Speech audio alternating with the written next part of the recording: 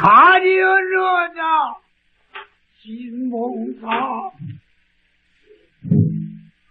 잠 못 자고 밥물 먹고 정신을 신봉사가 된 것은 어머한고 귀대기의 집을 가느라니. 더듬 더듬 흘러가며 앙성통고 울며 가서 하리문전 들어오셔서 어느 날은 군안으로 일면서 아주 어제 처서린다 음. 아이고, 여보, 이게 유디기네 댕이요? 네. 아이고, 내 서른 만들어봐. 우리 곽씨 살았을 때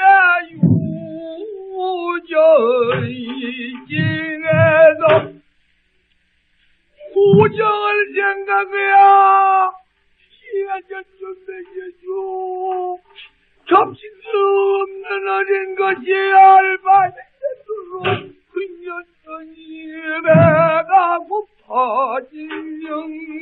살고도 아이고, 공사님 아니세요? 어린아이 이루주죠? 아이고, 그거 튕기기는 정잘 생겼다고? 그만. 내 손아 보급는 건 너희 모친이 비켰으니 내가 하지 잘할거나. 아가 참 많이 먹어라. 공사님, 예! 겨울에 자주 안 보세요? 아! 내뭐 다른 집 갈래 가지도 없고요. 네. 부인이 그냥 이걸만 피해 주시오. 네, 그러세요. 아유, 그라. 신봉사 어느 날을 받아 안고 팔을 더듬어 보니 자가 풀렀겠다 어찌 좋던지 아지를 오르면서 돌아온다 어둥둥 내 아들, 어둥둥 내 아들, 남문도 들었다이라 거짓나들 아들로 한다 둥둥 내 아들,